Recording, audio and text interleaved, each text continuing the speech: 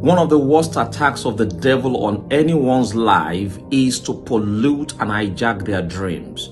Why do people have bad dreams? I can tell you quickly three reasons. Number one, worry and anxiety. If you go to bed loaded with worry and cares, or you go to bed crying about your situation, you open the door to the devil.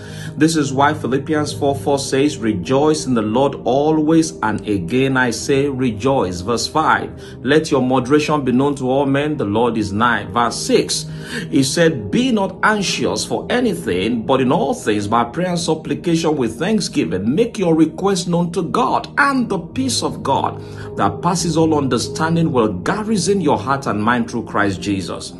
Also, if you engage in vain imaginations, thinking the wrong things, you know, uh, watching the wrong things, allowing your life to be polluted, your dreams will really be severely affected. I encourage you today, learn to cast your cares upon the Lord you know, um, ensure that every gate and door that is open to the enemy is closed. Remove pollution and perversion and all kinds of contamination from your life, and your dream will become Bethel, a place where God is visiting you and downloading mysteries into your life. I pray that that will be your experience from now on. In Jesus' name, God bless you.